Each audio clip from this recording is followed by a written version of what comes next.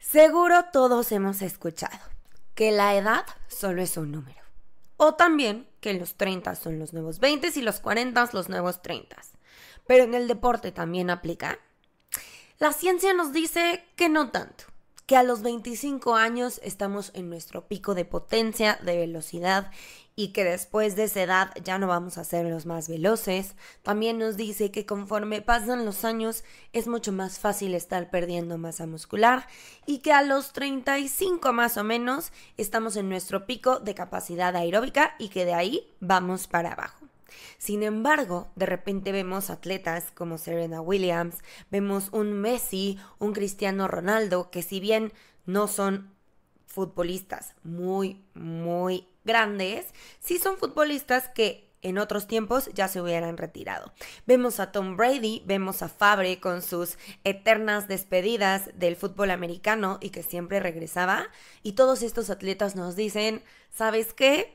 Yo creo que sí que un poco de la edad está en la mente. Yo soy Marian Fernández y hoy vamos a estar hablando de si la edad es solo un número. Te doy la bienvenida a un nuevo episodio de Corriendo y Comiendo.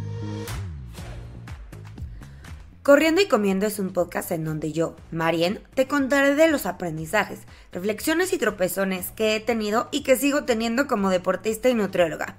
Porque creo que sin importar los estudios o los kilómetros recorridos, siempre hay algo que aprender. Acompáñame a esta carrera que nunca se acaba.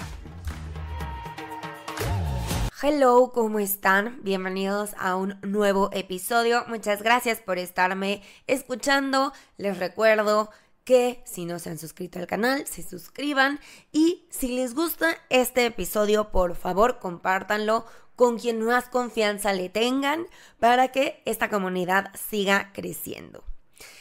Este episodio se inspiró un día en una consulta que estaba platicando con una pacientita mía que es aficionada al tocho, ella está en la universidad, y me decía que estaba con un poco de miedo porque a los 23 años, me imagino que en el momento en el que salga de la universidad, este periodo de jugar tochito va a terminar.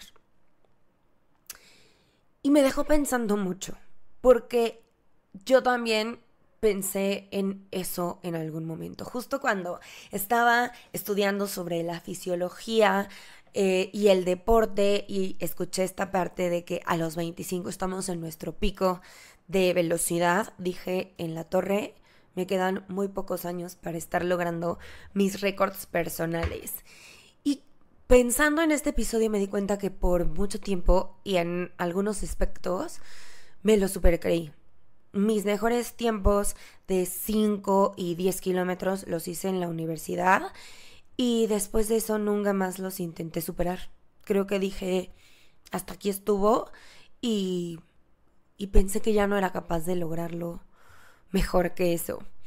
También pensé en algún momento que ya me había topado y no iba a poder ser más rápida en medio maratón, pero como ya lo he contado en otros episodios, me di cuenta que estaba muy equivocada y actualmente yo creo que todavía le puedo bajar un poquito o si no, al menos estarme acercando a ese 1.24 que todavía se me hace algo que, que a veces no creo que haya podido lograr y sin embargo lo hice. Y justo el día en que me estaba platicando esto mi paciente, también escuché una entrevista con Nuria Diosdado. Para los que no la conozcan, Nuria Diosdado es la capitana del equipo de nado sincronizado mexicano, nuestras sirenas que han ganado muchas, muchas, muchas competencias. Ella más o menos es de mi edad. Y cuando le preguntaban del retiro, justo hablaba de que no sabe cuándo se va a retirar, pero que no va a ser un tema de edad, que actualmente no es la más grande del equipo y que cuando ella empezó no había nadadoras de nado sincronizado de su edad. O sea, ya las nadadoras de 32, 33 años ya eran las más grandes y conforme ha pasado el tiempo nos hemos dado cuenta que en realidad la vida de los atletas es más larga de lo que antes creíamos.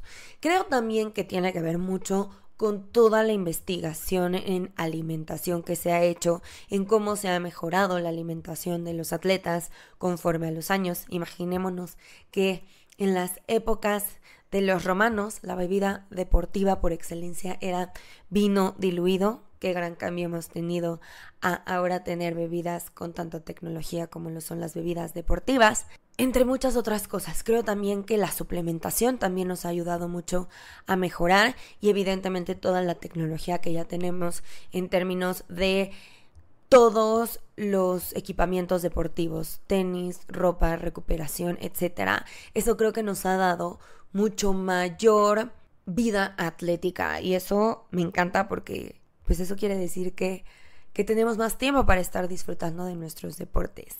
Sin embargo, también creo que la edad, si bien sí puede llegar a ser limitante, como lo decía, sí podemos perder masa muscular más rápido conforme más años tenemos, también creo que es una parte de hábitos y de creencias, porque la realidad es que sí, perdemos más rápido músculo, pero la realidad es que la capacidad de ganar músculo no es significativamente diferente una persona de 18 años a una persona de 60. Eso ya está súper comprobado por estudios. Así que claro, si nosotros decimos, es que ya voy a estar perdiendo masa muscular, ¿para qué estoy haciendo fuerza? Sí, vamos a estarla perdiendo. Si al contrario digo, tengo más tendencia a perder masa muscular, por eso voy a estar haciendo más fuerza, uff, podemos hacernos súper poderosas, súper poderosos. Y también veo varias ventajas que voy a estar enumerando ahorita. Y no solamente lo veo con atletas de marca internacional, lo veo y me encanta con amigas y amigos runners que veo que están rompiendo sus récords personales a los 30 y tantos altos, a los 40. Y ahí es en donde compruebo que tiene más que ver con los entrenamientos, que tiene que ver más con la disciplina, que tiene también más que ver con la dedicación que de repente le metemos y en creer que podemos. Porque esa es la parte más importante. Si nosotros no creemos que vamos a poder, no le vamos a meter tanta dedicación, no le vamos a entrenar tan bien y por lo tanto, pues evidentemente nunca lo vamos a lograr. Pero si creemos que podemos y hacemos todo lo que está en nuestras manos, sí creo que una parte de la edad es solo un número. Además de que la edad trae ciertos beneficios. Por ejemplo, como dirían algunas veces que no queremos escucharlo, conforme más edad tenemos, ya te la sabes. Ya te la sabes en términos de cómo se siente tu cuerpo, ya te la sabes muchas veces hablando del running, de cuáles son las rutas de las carreras. Ya sabes cómo se siente y cuáles son las ventajas que tienes si tú eres buena o bueno en las subidas, si eres bueno o malo en las bajadas, si hay que meterle más, si no. También sabemos cómo se siente el cuerpo cuando estamos lesionados, lesionadas. Sabemos que no, este es un dolor pasajero, si le puedo meter, este dolor ya está más raro. Ya sabemos porque ya tenemos experiencia. Y la experiencia es oro, porque bien dicen de repente más vale maña, o en este caso experiencia, que fuerza. Y también hay que decirlo, conforme más edad tenemos, tenemos mejor capacidad económica para estar comprando más tecnología, tenis o en general ropa deportiva más acá que nos puede estar ayudando a mejorar nuestro rendimiento. Ya sabemos y ya podemos pagar un masaje descontracturante más frecuentemente, ya tenemos más herramientas y por lo tanto, pues es una cierta ventaja que el dinero y el poder adquisitivo nos va dando y generalmente pues va de la mano con mayor edad. También creo que conforme más grandes y quiero esperar más sabios somos, nos vamos quitando la presión de triunfar todo el tiempo. Creo que conforme somos más grandes, somos más prudentes y nos damos cuenta que va a haber competencias buenas, competencias malas y no nos presionamos de más, no nos llevamos a límites que tal vez no debemos de estar cruzando. Y eso también es una ventaja porque si sabes cuándo parar, si sabes cuándo no presionarte tanto, evidentemente pues la revancha va a estar más cercana a cuando nos pedimos de más y de repente nos lesionamos.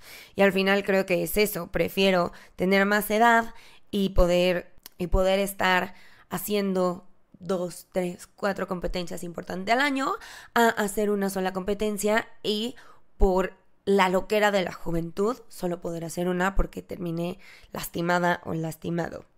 Y otra ventaja que veo es que también se abre como la idea de hacer diferentes deportes. De repente tal vez nos podemos ver topados o de repente ya dices, ¿sabes qué?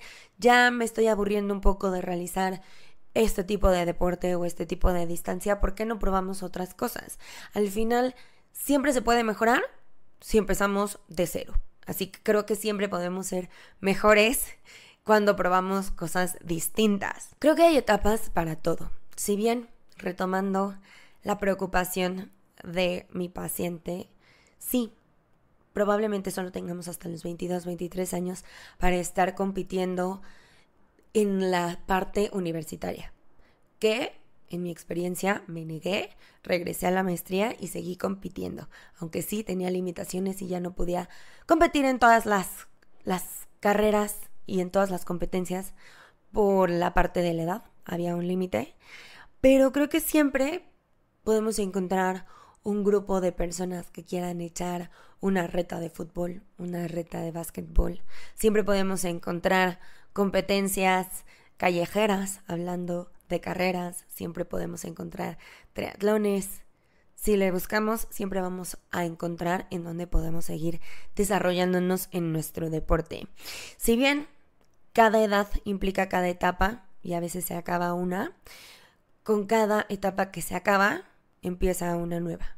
Y con ello vienen a veces ciertas limitantes. El trabajo, los hijos, los perros, cualquier cosa. Y sí, probablemente no le puedas dedicar tanto tiempo al deporte como en otros momentos cuando tu única preocupación era ser estudiante y hacer deporte. Pero creo que lo más importante es estar disfrutando del presente, sea la etapa que sea. Creo también, y creo que con esto voy a concluir, que el poder y la carga que tiene la edad está en la mente. Nos puede hacer más poderosos por hacernos más sabios, o si nosotros no creemos tanto en nosotros, también puede ser una carga. Muchas gracias por escuchar este episodio. Nos escuchamos el próximo jueves con otro episodio de Corriendo y Comiendo. Bye bye.